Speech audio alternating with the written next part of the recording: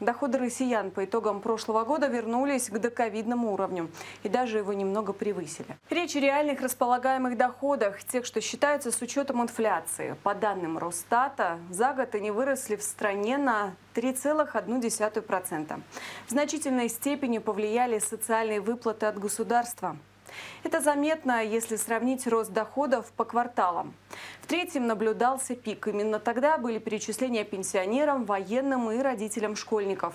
В целом, за год доля социальных выплат в структуре доходов людей составила более 20%.